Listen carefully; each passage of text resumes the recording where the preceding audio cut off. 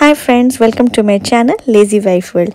Today I'm going to share my vaccine against COVID-19 story and how I deal with the reaction and how I treat them.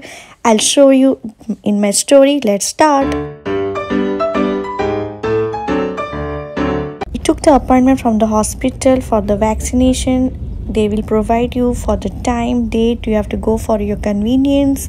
So here we are we took at 7:30 a.m. and we are almost there to reach.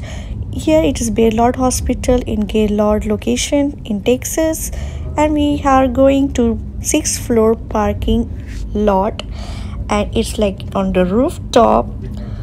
So it's a bit cold outside. So we are entering and now we are almost there to reach We'll park our car in the rooftop parking slot. Here I am now entering to the table. We have to fill up the form. Then we have to go to the line. Then they will ask you about your insurance card, your identity card. Then you have to go to vaccine nurse. They will be waiting for you. They will check you.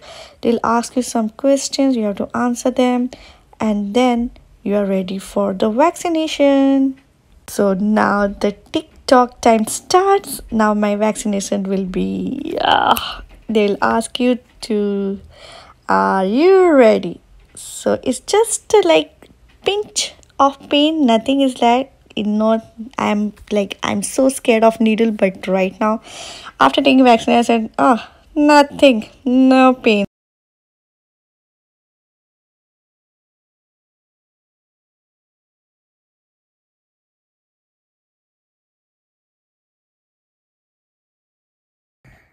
After vaccination, they asked us to stay in the waiting zone for 15 minutes.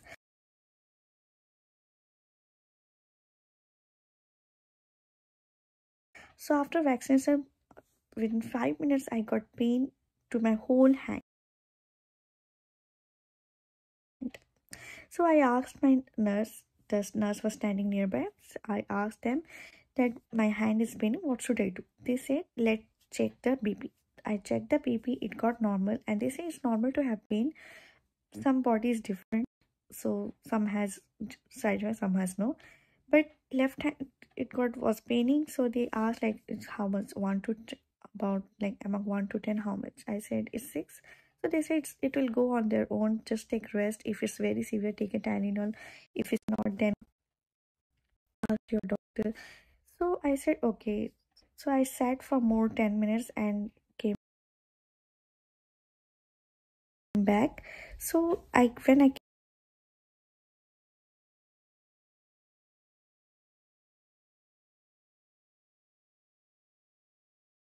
came back at home so it was like little little jerk pain.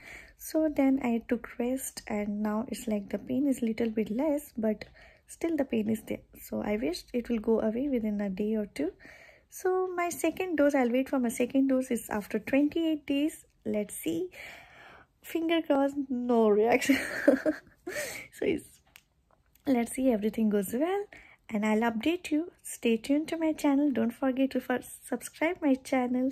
Share like and press the bell icon for the new updates. Love you all. Stay safe. Bye. Take care